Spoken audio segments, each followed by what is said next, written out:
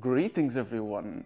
Welcome to a new episode of Mr. BioinformatiX. Einstein's theory of special relativity says that nothing with mass can travel faster than light. But now, scientists have done something incredible. They have created a special form of light called supersolid. What is supersolid? It's a strange state of matter that behaves like both a solid and a superfluid at the same time. We know that a solid has rigid structured shape, while superfluid is a special type of liquid that can flow forever without any resistance, meaning it never loses energy. On 18th of March 2025, a team of researchers from the Institute of Advanced Photonics in Milan, the University of Pavia, and CNR Nanotec successfully froze light. No, my dear viewer, they didn't put it in a freezer. My dear viewer, it's not like how we normally think of freezing. Instead, they used a special quantum optical technique, a method that controls light using principle of quantum physics. This allows them to manipulate light in an entirely new way.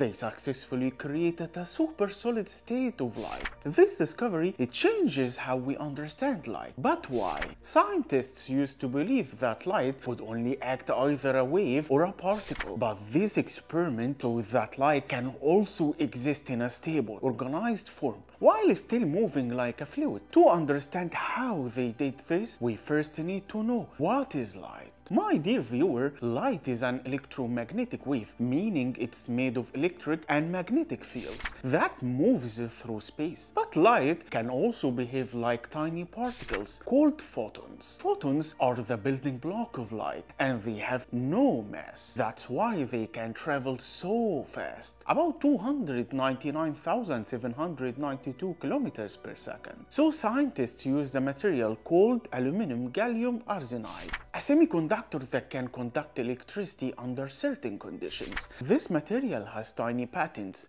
called nanoscale gratings, which were created on its surface at a scale so small it's measured in billionth of a meter. When scientists shine a laser onto a certain material, they create intriguing entities called polaritons. A polariton is a quasi-particle, meaning it behaves like a single distinct particle, even though it's composed of multiple interacting components. Specifically, polaritons arise from the strong interaction between photons, light particles, and excitons within semiconductor. To understand this better, when light energy excites a semiconductor, an electron can jump to a higher energy level, leaving behind the hole essentially, a missing electron that acts like positive charge. This electron hole pair is called an exton. When photons strongly couple with these excitons, they merge to form polaritons. This hybrid nature gives polaritons a unique advantage. They inherit the ability of photons to travel long distances and the strong interaction properties of excitons. Because they act as a single unit, polaritons allow very efficient energy transfer. As the number of polaritons increases, a remarkable quantum phenomenon can occur, Bose-Einstein condensation, where many particles coalesce into a single quantum state and behave as one unified entity. In this case, polaritons form a supersolid light state. This state exhibits seemingly contradictory properties. It has a crystal-like structure, meaning that the polaritons organize themselves in a rigid pattern, yet it flows without resistance, like a superfluid, meaning the energy is transferred without loss. This breakthrough holds significant potential of advancing quantum technology. Unlike traditional computers, which relies only on binary bits that can only exist in one state at a time, like 0 or 1, quantum computers leveraged qubits, quantum bits that can exist in multiple states simultaneously. This phenomenon, known as